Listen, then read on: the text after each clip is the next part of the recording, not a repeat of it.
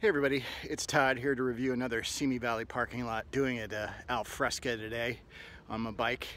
Uh, but I'll tell you what, uh, I came to get a scoop on this new industrial parking lot here in Simi Valley and I get here and uh, it is not ready to be reviewed. It's just not. This parking lot is not ready for Blursh. Uh, they could have called, they could have told me not to come, but they didn't.